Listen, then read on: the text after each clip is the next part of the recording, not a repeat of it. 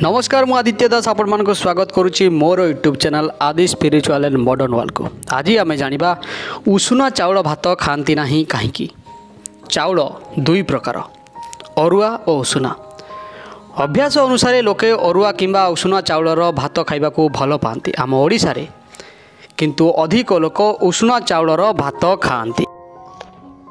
ବିଜ୍ଞାନ ଦୃଷ୍ଟିରୁ ଉଷୁନା ଚାଉଳର ଭାତ ଅରୁଆ ଭାତ ଅପେକ୍ଷା ଅଧିକ ପୁଷ୍ଟିକର।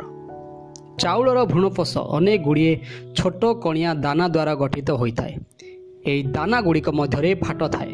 ଅରୁଆ ଚାଉଳ ପେଷିଲା ବେଳେ ଉକ୍ତ ଫାଟରୁ ଅଧିକ ଚାଉଳ ଭାଙ୍ଗିଯାଏ।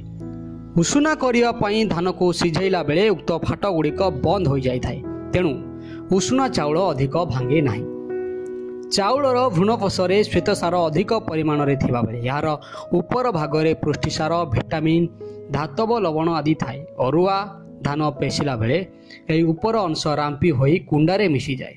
ମାତ୍ର ଉଷୁନା କରିବା ପାଇଁ ଧାନ ଉଷେଇବା ବେଳେ ଚାଉଳର ଉପର ଅଂଶରେ ଥିବା ଖାଦ୍ୟସାର ଭ୍ରୂଣପୋଷରେ ଦ୍ରବୀଭୂତ ହୁଏ।